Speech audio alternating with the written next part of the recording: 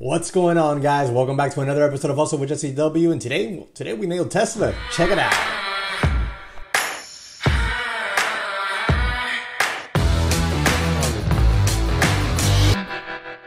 All right, guys. So let's jump into this video here. Today, the day opened up, and I really didn't like anything. Like I didn't like anything at all. Almost small caps. I didn't like anything there small cap land. There my scanners there. Uh, Trade Idea scanner. Uh, link in the description section below with a coupon code for 15% off those. Didn't like anything there, so I'm not even going to bother clicking through any of that noise because honestly, there was just nothing there for me. Um, I was also watching, uh, let's see here, Boeing, which uh, had a real nice little move here, but then gave it back. Uh, so keeping an eye on that. Honestly, I don't, you know, Boeing's still a bearish looking daily chart, as you see. Giant looking bear flag. It's make that a little bit smaller. Look at that giant looking bear flag, but it refuses to break underneath 120. It really does. It refuses to break underneath 120, and uh, I'm gonna keep watching that. Just gonna keep watching that, see what happens. Uh, haven't traded Boeing. I don't think I traded Boeing all week. I'm not sure. Have to go look through my recaps. Uh, I was looking at Shop as well, but you know I didn't trade it. I, I saw what was it that I saw? I saw this red to green move right here uh, and then it was trading right here between 714 and 710. Just really choppy action there.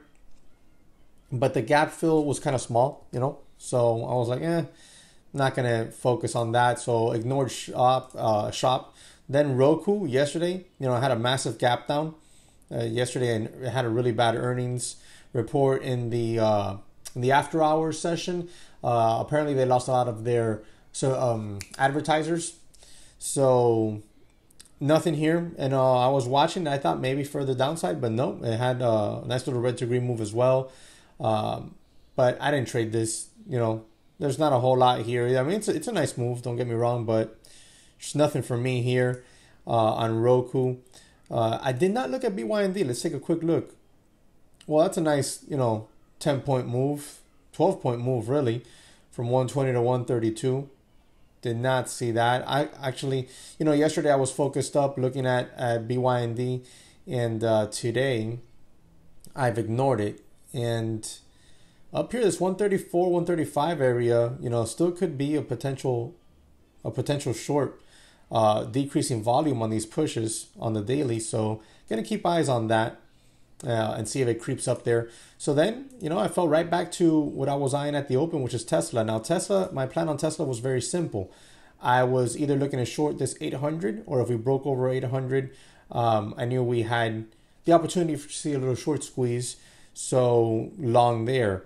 Uh, and that's what I did. You know, that's exactly what I traded, and it was a real, real nice trade uh, on that on that one today. And I do have it captured live. Real nice day on it. That was a that was a home run trade actually, and I I traded it exactly how I would have wanted to.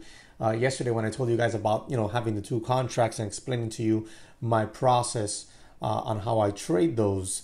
Now, before we move any further here on this trade, do me a quick favor, smash the like button for me, subscribe to the channel, and comment in the comment section below. Let me know how your week went. Remember, guys, when you do all three things, uh, it helps the channel. It really helps the channel a lot because YouTube has an algorithm, and the more uh, views and interaction we get from subscribers and non subscribers as well, the more chances of YouTube pushing videos out, suggesting it to other people, and the channel growing because the more people get eyes on it, the more people subscribe. The faster we get to 10,000 subscribers, the faster we go and do that giveaway where I'm going to give away one lucky subscriber a fully funded trading account so that they can start their day trading journey. Uh, so that's what we're going to do there once we reach 10,000 subs. But I can't get there without you guys. So do me a quick favor like the video, comment in the comment section below, even if it's just to say hi. And if you haven't, make sure you subscribe to the channel. Also hit the notification bell. I have a new video that's probably going to come out this weekend, uh, either probably Sunday uh, on, on Street Smarts Edge okay, which is the platform I'm using to trade. So make sure you hit the notification bell for that so that you're alerted when that video drops. Also remember, link in the description section below to Webull. Uh, I believe on the 12th of on the 12th of this month, we're on the 8th, Webull is going to stop doing two free stocks when you fund your account with 100 bucks. They're only going to be doing one free stock from there on. So if you want to take advantage of that and get those two free stocks, now is the time to download the app, fund the account with 100 bucks so you can get your two free stocks, okay? Uh, one of them could be valued up to 1400 bucks. Uh, the best stock I've received from Webull was about, I want to say 30 to 40 bucks. And from Free Trade, which the link is there as well, that one you just open up the account and you get one free stock. No need to fund the account. Uh, the best one I've gotten from them was uh, BYND, which I sold for a little bit over 100 bucks. So that was a real good one. Uh, so you want to make sure you take advantage of that. It's three free stocks. It's no brainer. That's free money. Now on Tesla, we had this real nice red to green move right here, guys. You see this? This was so clean, so clean. Right in front of this $800 area. Now remember, this $800 area has been holding up as resistance. Look at this little line right here, $790, zone. You know, resistance here, resistance here, resistance here. Pierced through it here, took it right back, okay?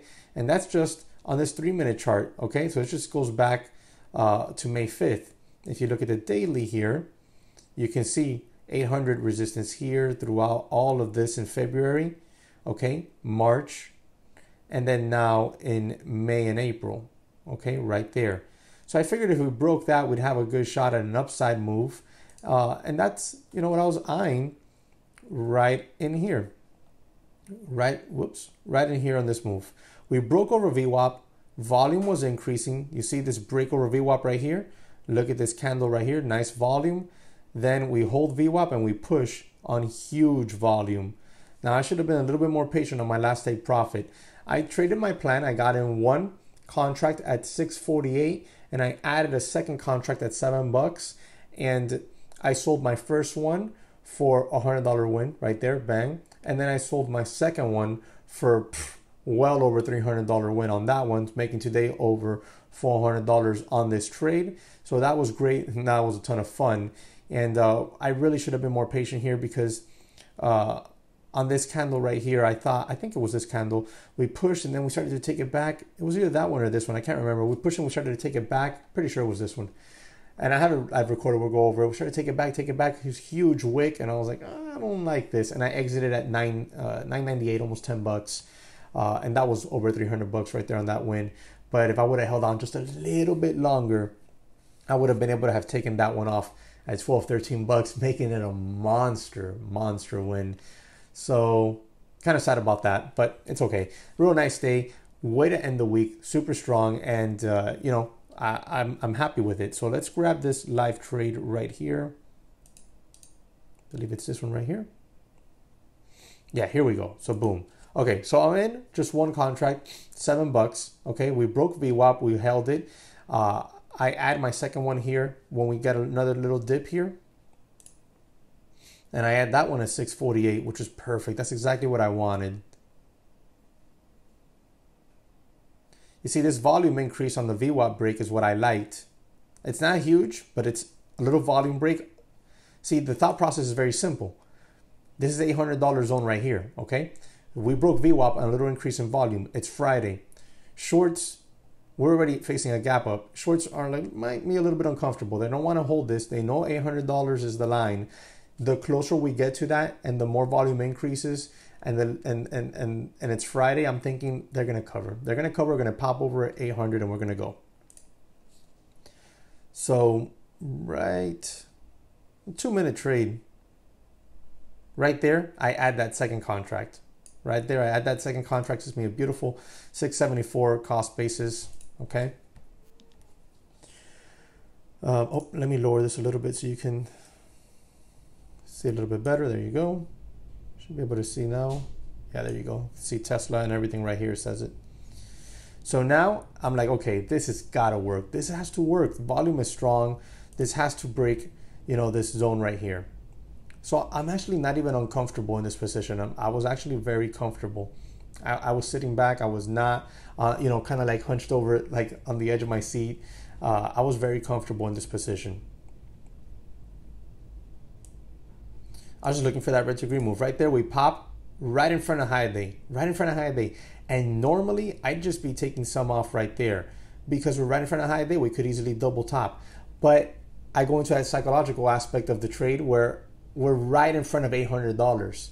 I know shorts have to be uncomfortable, right? They have to be uncomfortable. Look at this volume continuously starting to increase. It's Friday. We're in front of this resistance zone and we're not shying away from it again. We we shied away from it here.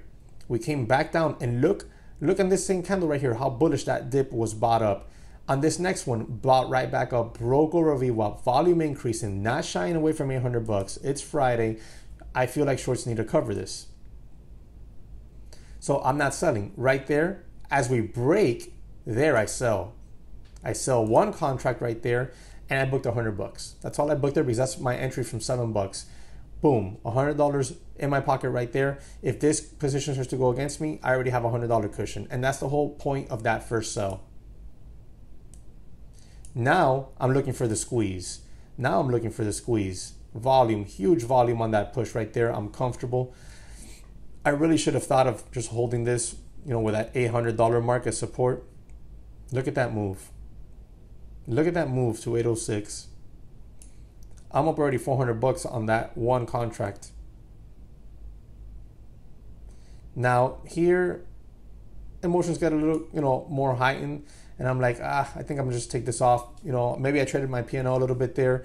Uh, generally speaking, guys, I don't, I ignore this, this unrealized P&L that you see here. I ignore it. I leave it here. I could easily erase this, take it right off, but I leave it here just for you guys, for entertainment purposes, really. Um, I, I, I, generally ignore this. I don't, I don't look at that. Uh, a lot of times you'll see we're watching the video going over the recap and I'm like, oh, look how much I was up. I don't even, because I don't look at it. I generally don't look at it. But this time I did glance at it. Uh, and that's probably what hurt me here. I wanted to try to take this off like at 12 bucks, okay? From 648, that's that's a monster gain. But the the wick, you know, this wick we it made me a little uncomfortable. It made me a little uncomfortable. Not that one. You'll see it. It's coming. That when it starts to come back down a lot. See, we pop. We pop back up there, and I'm like, okay, okay, this is good. Look at that. We're almost 500 bucks on that. But then watch. Watch what happens here. That. That right there. That right there always shakes me. Always shakes me. And uh, I cut it loose there I I cut it loose there, and it sucks because, uh, you know, I, I still book. What was it like, three hundred and thirty something dollars I think there. So it makes the day four hundred and thirty dollar trade, give or take. So I still book that real nice profit, but come on. See, I book it right there, and right after that, look, boom. I mean, those are going off at twenty bucks. 20, 15 bucks, something like that. Regardless, it doesn't matter. I would have been able to have gotten my target, which was $12 on those, and it would have been great. But hey, look, I'm not going to complain. Uh, I'm going to keep my eyes on Tesla here. Maybe I'll get a shot at, uh, at another small trade. This time it'll just be one contract, looking for a simple trade, you know, conserving profits on the day. It's been a real nice week. Consistency has been king this week. I've been green every day this week except for that one day where I had the user error. If you remember that video, it's my most watched video this week because it was a day trading fail. Uh, if it wouldn't have been for that day, I would have been green every single day this week and I'd be on a nice little five five day win streak. Uh, however, I was red that day, uh, but I knocked it down by by by 50%, a little bit more, I think, than 50% uh, on my follow up trades that were not user error. Uh, if you haven't seen that, make sure you check it out. In fact, the video that's coming out on Sunday is me fixing that so I don't have that user error again. I figured out how to customize the software so that won't happen again. So if you're curious, make sure you check that out. I hope you're having a great day, enjoyed the video, learned something. If you have any questions, drop them in the comment section below. Have yourself a great weekend. Smash that like button for me. That's all I ask, and I'll catch you on the next one.